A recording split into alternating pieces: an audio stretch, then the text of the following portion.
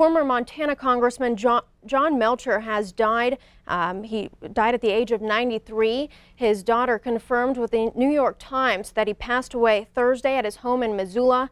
Melcher, if you recall, was 45 when he went to Washington in 1969.